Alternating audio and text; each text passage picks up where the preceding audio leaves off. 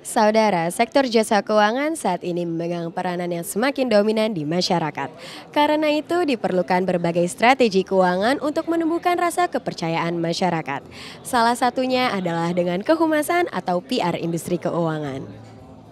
Public relation ibarat sebuah jembatan yang berfungsi menyeberangkan informasi organisasi kepada publik. Selain itu, PR harus menganalisa dampak kebijakan organisasi terhadap publik, menjaga komunikasi yang baik antara organisasi dengan institusi lainnya, investor, media massa, dan masyarakat umum. Pentingnya peran PR dalam institusi keuangan ini juga disampaikan oleh Ketua Dewan Komisioner OJK, Bapak Mulyaman Dehadat pada acara hari ini Senin tanggal 7 November 2016 dalam acara OJK Financial PR Forum yang mengambil tema Embracing the New Era Rebuilding Trust in Financial Services.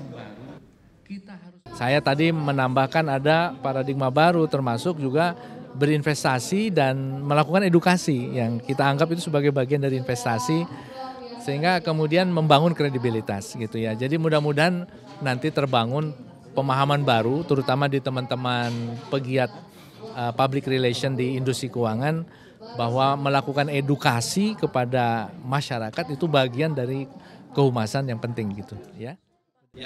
Seiring dengan perkembangan teknologi yang semakin cepat, seorang PR juga dituntut untuk mampu mengikuti teknologi informasi yang ada. Di era digital dan online seperti sekarang, pola kerja humas saat ini sangat menuntut kecepatan dan keakuratan. Dalam diskusi Financial PR Forum yang merupakan rangkaian ulang tahun OJK kelima ini, terungkap adanya perbedaan perilaku komunikasi masyarakat dan perubahan perilaku konsumen di sektor keuangan yang harus dicermati para pelaku industri PR keuangan.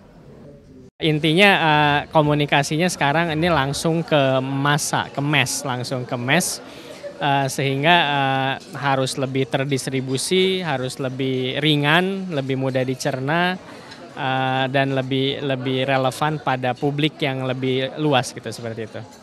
That is relevant to the vast majority of the population to show them that they can increase wealth, they can make their life better.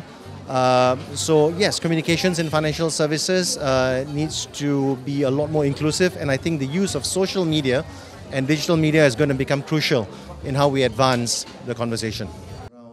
Financial Forum seperti ini juga diharapkan dapat meningkatkan koordinasi antara humas industri jasa keuangan untuk meningkatkan pertukaran informasi serta diseminasi kebijakan dan program dari otoritas jasa keuangan. Dari Hotel Borobudur Jakarta, saya Tena Carolina dan Dede melaporkan untuk OJK TV.